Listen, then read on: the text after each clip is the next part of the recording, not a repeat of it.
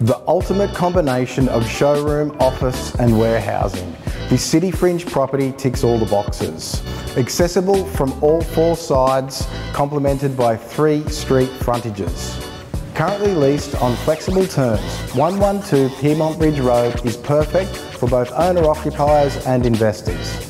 Uniquely, the property provides access from Gordon Street, Water Street, Cahill Street, and of course there is access from Pyrmont Bridge Road with its huge 27 metre frontage. An approximate land size of 1,589 square metres, with a building area of approximately 3,100 square metres spread across three levels. No expense was spared on the building fit out, creating numerous fitness rooms and high-end office space. Location for your business or investment that will ensure fantastic returns for years to come, being surrounded by a multitude of other successful businesses from furniture and bedding to automotive trades and sales.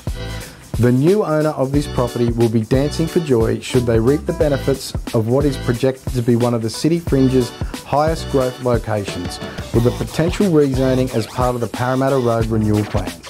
Here's your chance to secure a phenomenal building and land holding, only 4 kilometres from Sydney CBD, being auctioned on the 14th of March 2024.